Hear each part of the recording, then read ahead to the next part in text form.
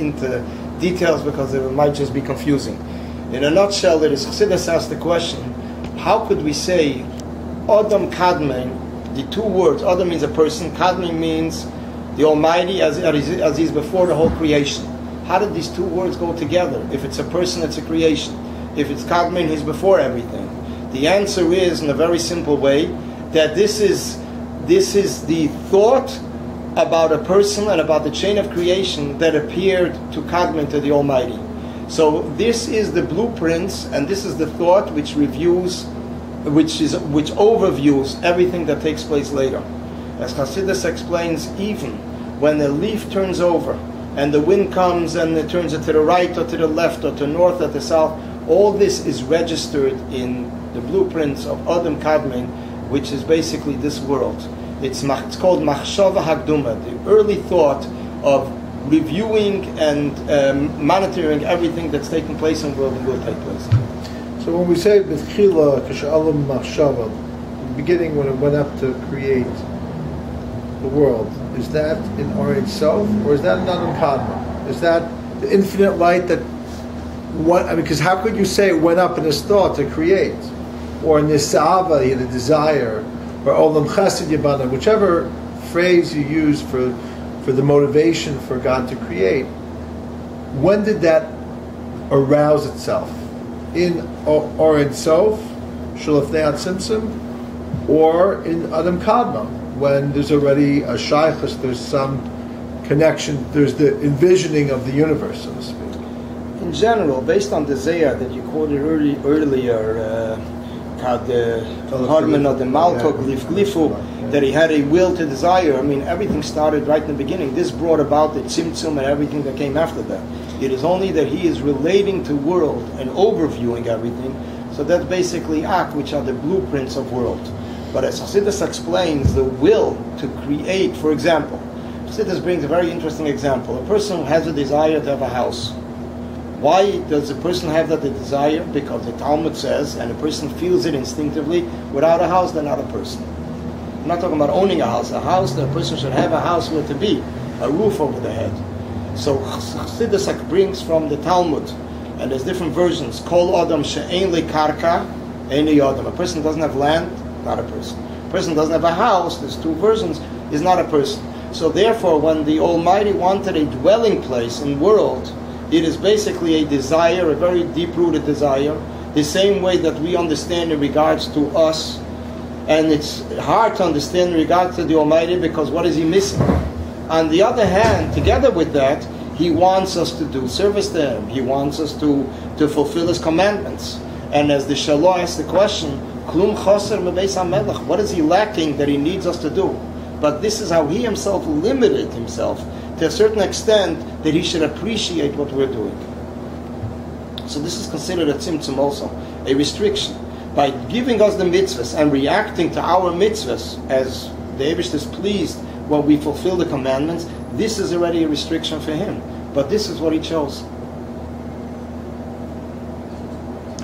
We have, um, thank you, Rabbi Selzny, we have in, in the sphere, in the Olamos, we have this idea, if you uh, if you're paying attention when you're studying, uh, I have allergies. I'm sorry. I just feel like I'm going to sneeze, but I, will try not to hit you. Um, shield, yeah. the Iron Dome. I don't know if Israel could defend itself against me when I sneeze and stuff flies, but uh, I chas v'shalom. But David Shweki will, because he'll give me a tissue. So we have in uh, the story of Jacob when he marries Rachel and Leah, Bilhah and Zilpah, he has a father-in-law hard to do business with.